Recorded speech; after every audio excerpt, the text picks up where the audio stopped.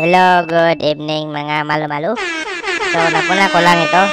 Mga artistang naghihirap na daw ngayon. So, tingnan natin guys kung ito mga totoo ba silang mga naghihirap na. Sige, tingnan natin ha.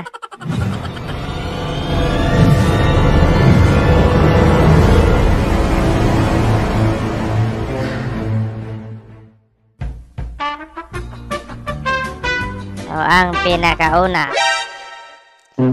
John Lloyd Cruz daw guys, naghihirap na John Lloyd Cruz. Gaano ba ito katotoo guys? Comment down below. Pero kung babalikan natin guys, noong 2013, ang binayad na tax ni John Lloyd ay 42,791,394.17. Tumataginting na 42 million guys. So tax pa lang yan. Magkano ba ang kita niyan? Kung inyong. So ang tax siguro ngayon ay 12%. So 12%, ah 12, 12% lang ang 42 million. So eh, kayo na mag-compute. 12% ba? Hindi ko alam kung 12%. Ba't yung 12%? Pero baka pareha na yun sa mga kuan bayarin ng mga artista. So, 12% pa lang yung 42 million, guys. So, 100% siguro niyan ay nasa mga 400 million plus din. Wow! So, sa inyong palagay, in 7 years, anong tumigil siya sa pag-artista 2017? So, another one. Another Kasi one. bibigan ng hari.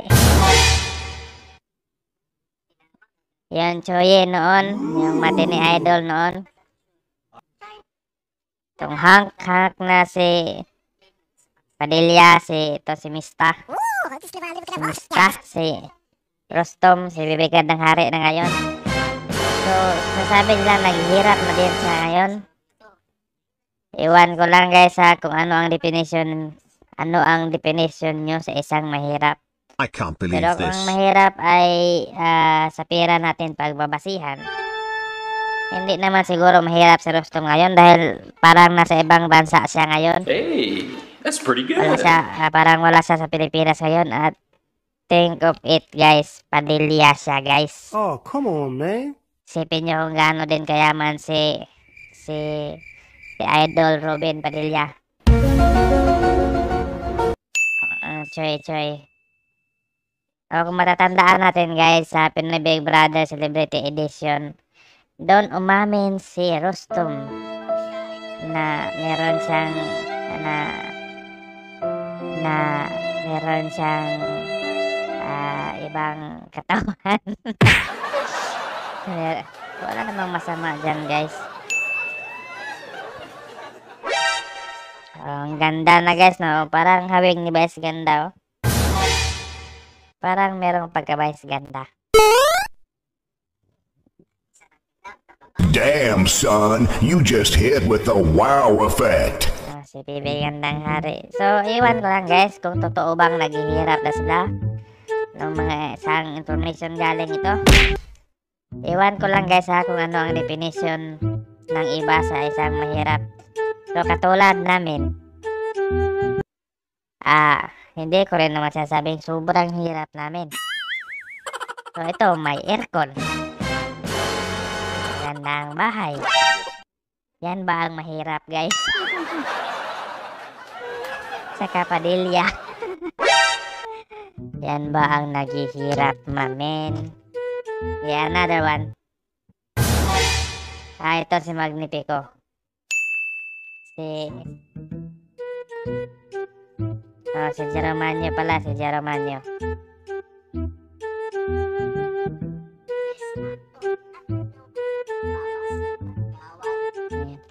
Ito si Magnifico, guys.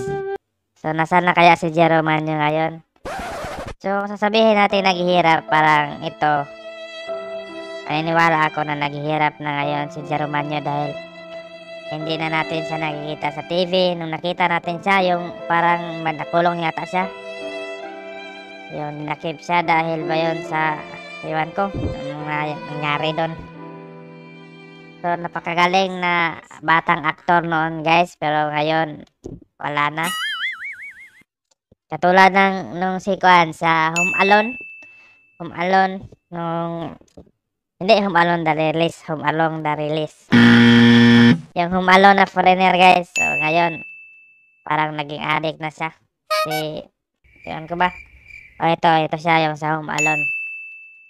Sikat na sikat nung bata pa, pero, lumaos ng lumaki ng tumanda. Ups, another one. Oh, dinakit. Oh, ito siya. Oh, dinakit na polis. Gwapong polis. So, ito si John Regala, guys. So, so, sa opinion ko, na- talagang may naghihirap na ngayon si John Regala. Last ko siyang nakita sa TV nung sa probinsyano, si, ah, nung pangalan niya ba doon, si, si, yan, si Congressman Subito pala pangalan niya doon sa probinsyano, guys. So, idol ko na kontrabida ito, guys, noon. Pinapanood ko siya doon sa mga tape. yung sa mga CD ba? Yung mga pelikula na yun. Niya noon. Sobrang napakagaling na kontrabida nito ni Mr. John Regala, guys.